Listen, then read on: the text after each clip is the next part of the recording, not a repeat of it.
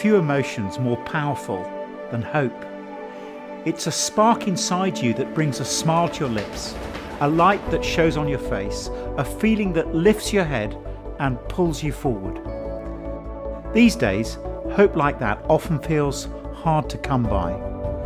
Maybe you've experienced your share of disappointments, but real hope is what the Christian faith claims to offer a joyful expectation for the future based on true events in the past, which changes everything about my present. Hope Explored is a three session series for anyone who is looking for a hope worth having. Whatever you do or don't believe, this is your invitation to explore, to discuss, to question, to discover. This is Hope Explored.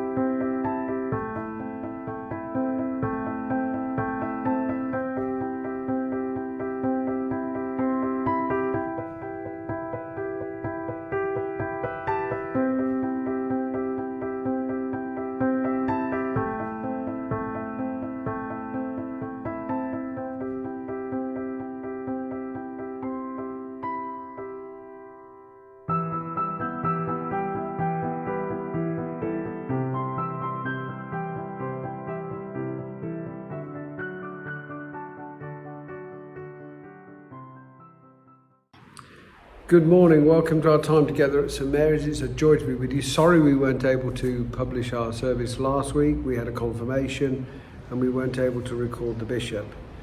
But let's uh, spend some time together today looking at God's Word. We're going to be looking at Psalm 121 because we're taking a break from John as we're doing the family service today. So let's pray together and then we'll study the book of Psalms together. Heavenly Father, we ask you to bless our time together this morning. In Jesus' name. Amen. I want you to imagine yourself standing on the edge of the Judean desert, gazing up at the mountains. You're heading to Jerusalem for the great festival. And the joy of that is tempered by the threat of the journey that you've got to make. You've got to cross those mountains. And it's true for us today we have a journey, an intimidating journey, just as intimidating as the Judeans, Jews crossing the Judean desert. And uh, the, the hills might have been a hiding place. They might have been a place where you could hide, but they would also be a place where the dangers could hide. And that would give troubles and threats and concerns and anxieties. If you were going to make this journey, I'm sure you would make it sensibly you would take provisions with you, you'd take water, you may take a donkey with you, you may take food, and you make sure you had appropriate clothing and footwear. Sensible things to do. So you wonder why the question, the question that comes to mind is why is he looking for help? It's the same as we have in our own age. We know where we're heading, but the journey to get there is a difficult one. The answer to the question where does my help come from? What sort of help is he looking for? Is hidden away in verse 2, where we read he's looking for that help from the maker of heaven and earth. Matthew Henry, in his commentary, reminds us that no help that is sustaining can last can come from anything else but from God who created heaven and earth. That's the core of this message today. Who do you trust? We trust lots of things in our modern age for our security as we make our journey. We trust our NCAP 5 rated cars, the money that we've stashed away for the rainy day, the CCTV cameras we put up around our house. There are so many things we put our trust in before we put our trust in God. Have we noticed, have you noticed how we trust everything before we trust God? When we're under pressure, we trust the things around us. Then we echo the, echo the psalmist's cry elsewhere in the book of Psalms Lord, have mercy on me when those things fail us, when the money runs out, and when things go horribly wrong. We only seem to lift up to our eyes to the hills when there's no other option. This psalm is a love letter. It's a love letter from God. It's a reminder that God is devoted to us. Verse 3 is a great verse. It reminds us that God keeps our footing steadfast. Imagine walking those hills of Judea. There's going to be a lot of loose ground. I don't know whether you've ever walked in uh, the Lake District or anywhere and walked on screed and shale. It's very disconcerting. It's very easy to lose your footing and slide down the hillside to the bottom, to put your foot in the wrong place.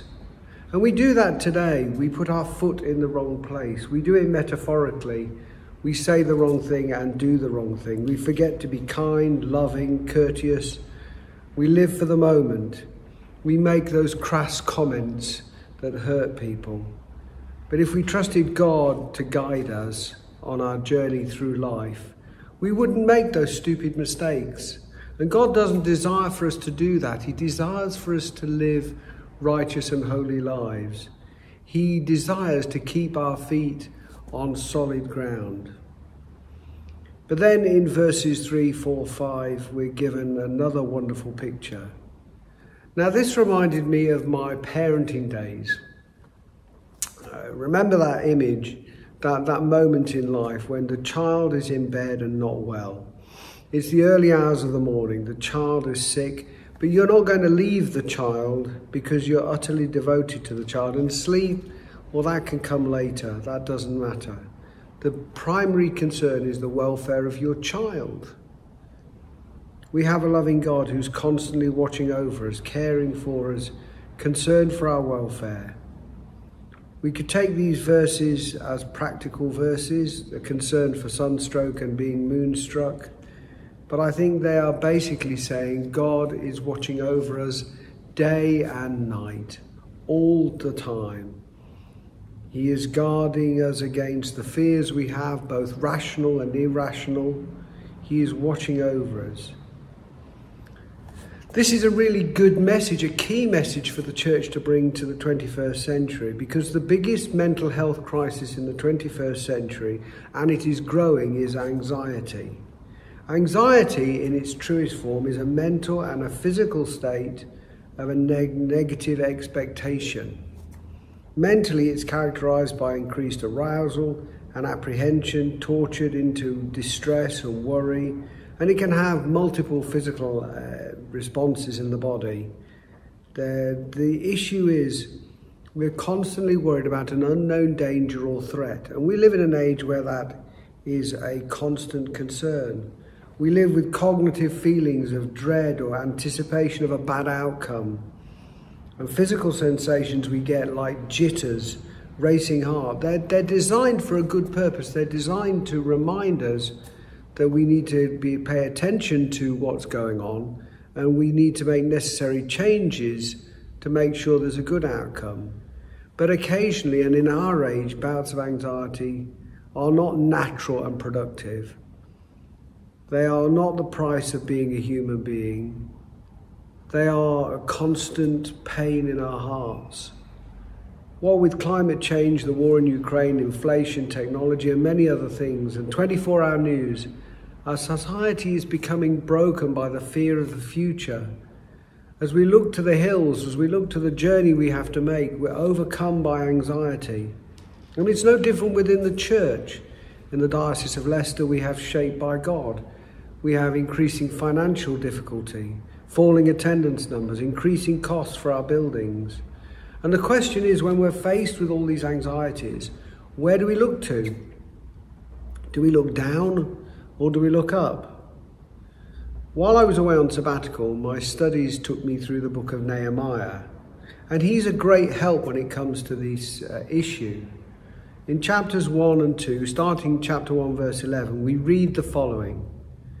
And let your ear be attentive to the prayer of your servant, and to the prayer of your servants who delight to fear your name. And give success to your servant today, and grant him mercy in the sight of this man. And now I was a cupbearer to the king.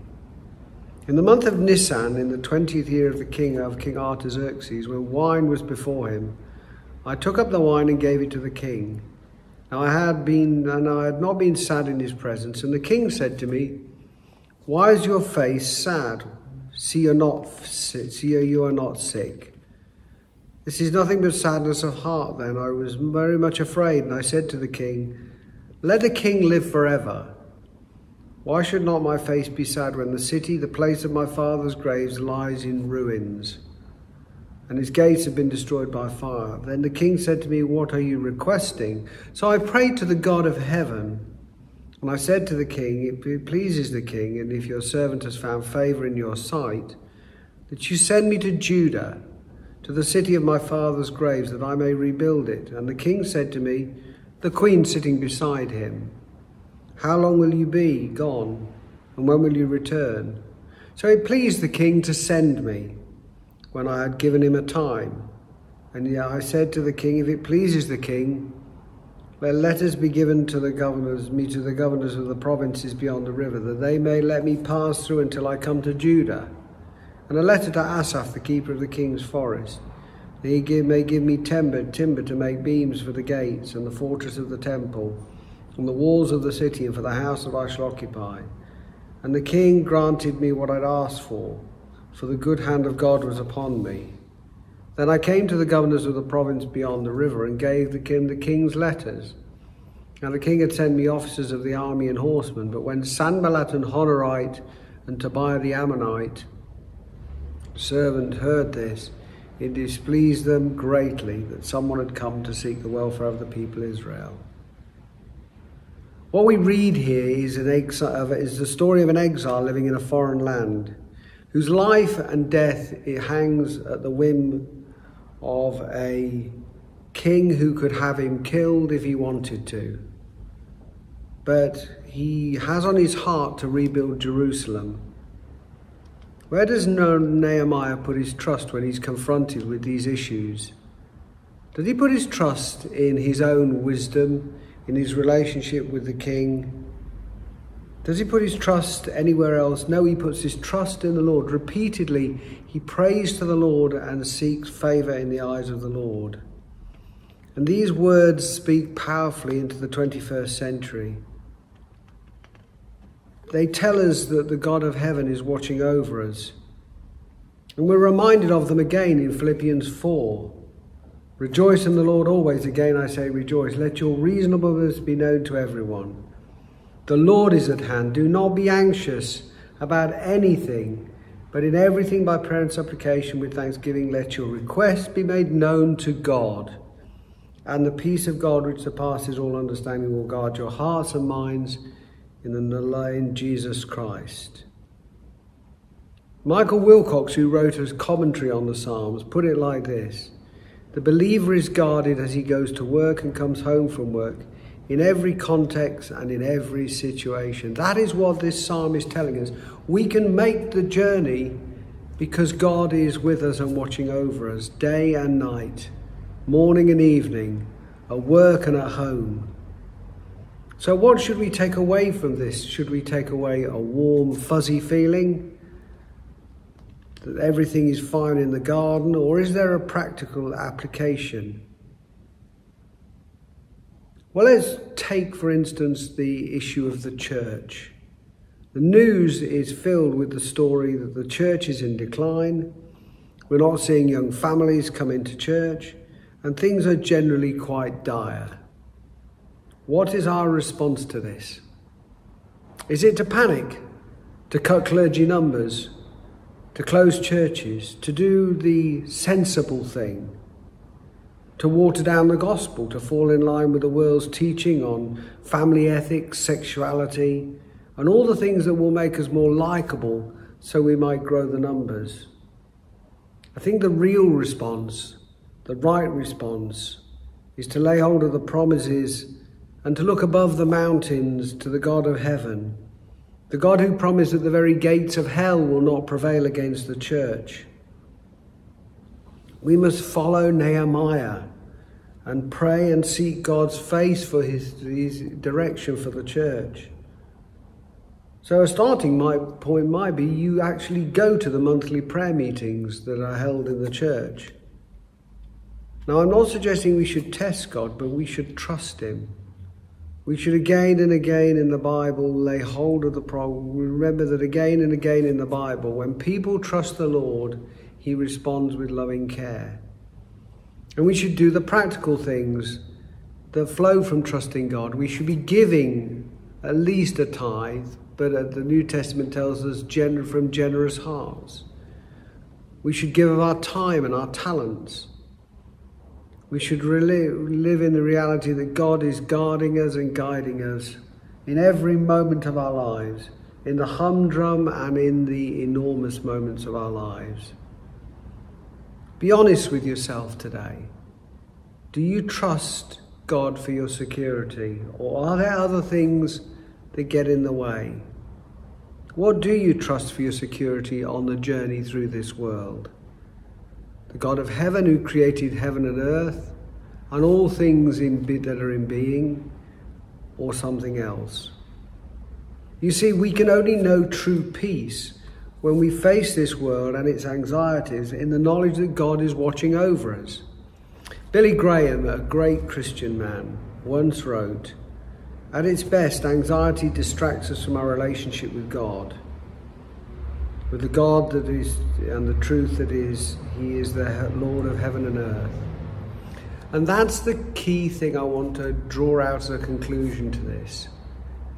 When we don't trust God, it affects our relationship. When you don't trust your husband or wife or your boss, you don't really enter into a full relationship with them.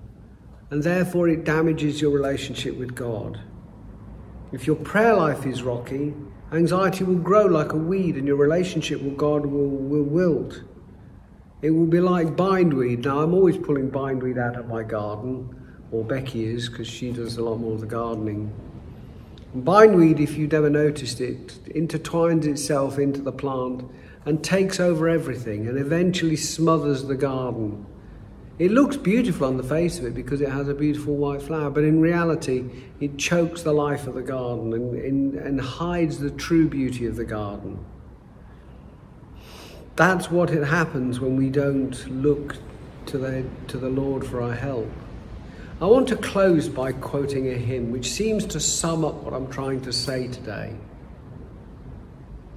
O soul, you are weary and troubled no light in the darkness you see.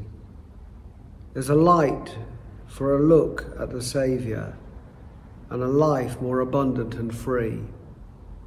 Turn your eyes upon Jesus.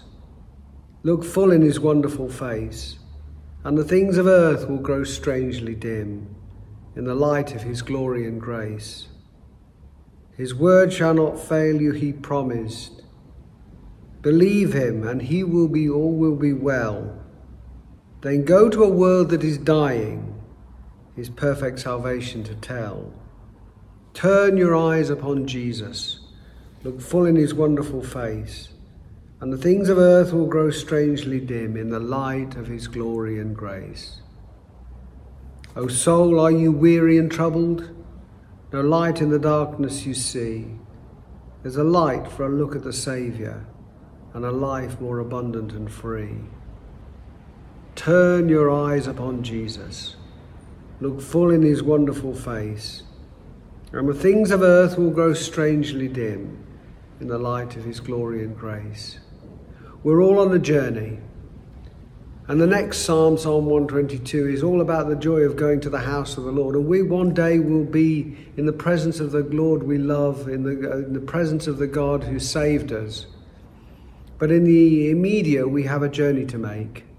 And the question is where are we going to look to for our help and our sustenance and the power that can sustain us on that journey? Are we going to look to the things of this earth, the hills, where there are dangers? Or are we going to look above them to the Lord who made heaven and earth, who will protect us and never sleep as he cares for us and watches over us? A practical step this week might be to write down your concerns. Write them out literally and be honest with yourself. Show your true anxieties on paper before the Lord and then pray them. Pray them carefully and diligently to God, and He will answer your prayer. Let's pray. Heavenly Father, we're sorry that we don't trust you, that we trust the things of this world for our security. Lord, help us to trust you more and more. And Lord, we give to you now in the silence the things that make us anxious our health, our family, our money, our situations. Father, be with us now. In Jesus' name. Take these things from us and give us peace. Amen. It would be lovely for you to be able to join us. I know that some of you can't get around to being at St Mary's at 11 o'clock, but I know that many of you could, and I would invite you to come and join with us as we celebrate and share God's word together. Amen.